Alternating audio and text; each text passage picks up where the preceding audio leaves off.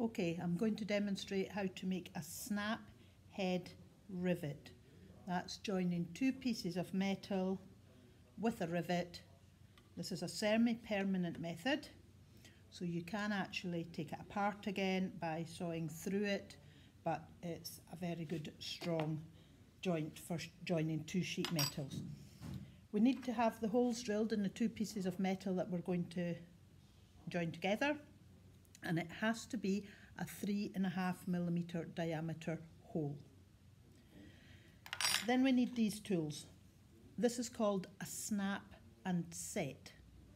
So it's one item, but the name is snap and set. The snap is the domed dimple there, and the set is the hole. So a snap and set, and it just looks like this.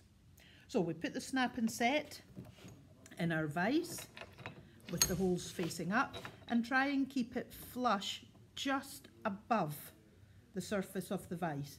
So almost flush but not quite, just above the surface of the vise. We then take a snap head rivet. Now this is what a snap head rivet looks like.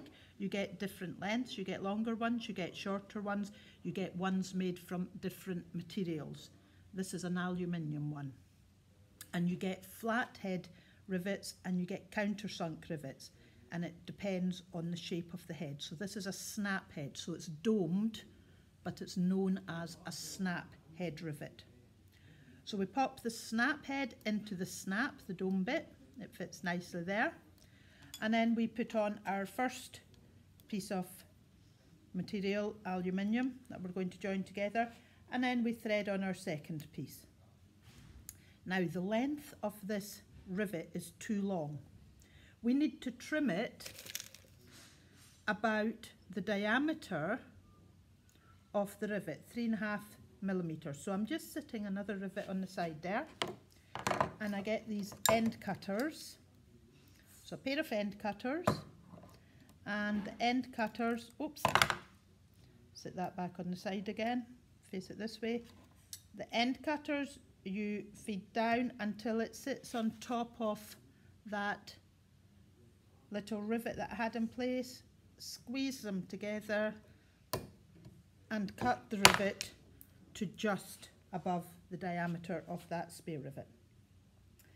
So now to start creating the rivet.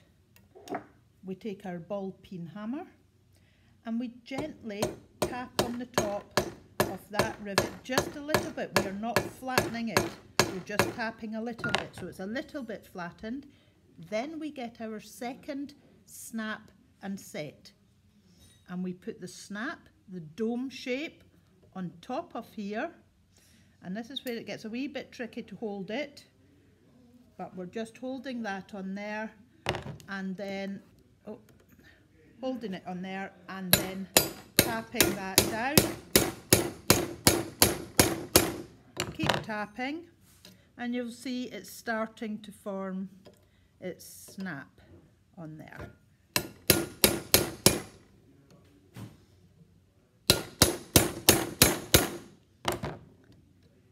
And there we go, there's our snap formed nicely got a nice dome on here, so that's our snap head there, and we have the snap on the other side.